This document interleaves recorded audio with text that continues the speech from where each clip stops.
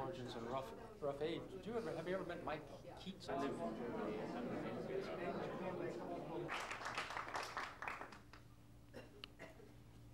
Diplomat. That's in Financial Times.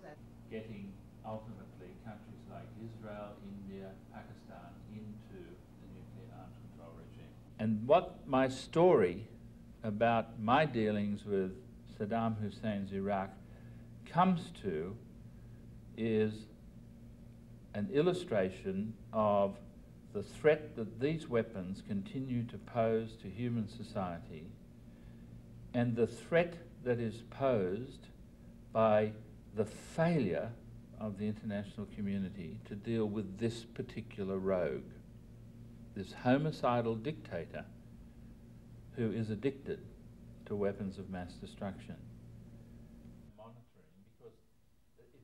None of us know the details of that anymore.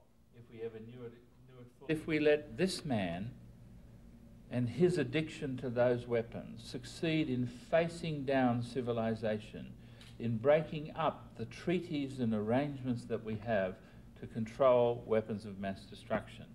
If we let this man successfully deride and reject the authority of the Security Council, then we will find that we have on our hands a serious crisis in the management of global security.